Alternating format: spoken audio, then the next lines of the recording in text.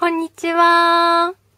今日はメルちゃんのおしゃべり幼稚園バッグで遊ぶ前に、この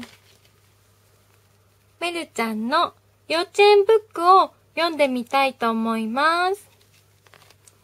どんな内容になってるかな？一緒に見てみようか。メルちゃんの幼稚園ブック。7時になったら、おはようメルちゃん。朝起きるんだね。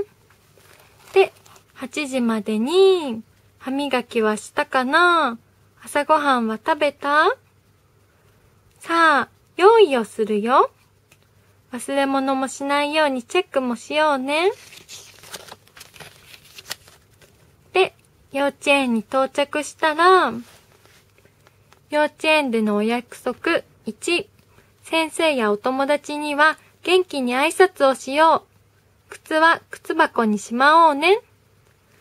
メルちゃんがおはようございます。で元気に挨拶してるよ。9時になったらおはようの歌をみんなで歌いましょう。10時にはみんなで一緒に遊ぼうね。ここで幼稚園でのお約束に、順番を守ってみんなと仲良く遊ぼう。ありがとう。ごめんなさい。はきちんと言おうね。はい、どうぞ。ありがとう。幼稚園でのお約束3。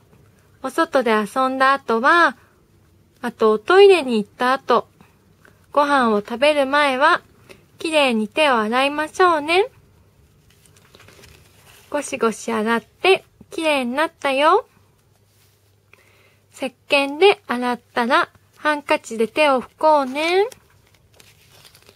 12時にはみんなでお弁当をいただきます。お歌を歌ったりして遊ぼうね。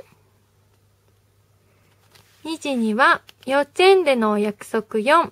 先生のお話はきちんと静かに聞こうね。お返事は手を挙げて元気にはいと答えよう。はい。はーい。3時にはお帰りの歌。皆さんさようなら。幼稚園でのお約束後、先生やお友達には元気にさようならの挨拶をしよう。車に気をつけて帰ろうね。さようなら。幼稚園で楽しかったことをお家の人にお話ししよう。8時には、また明日も幼稚園が楽しみだね。メルちゃんおやすみなさい。これでおしまいです。よし、じゃあまた次回も見てね。バイバーイ。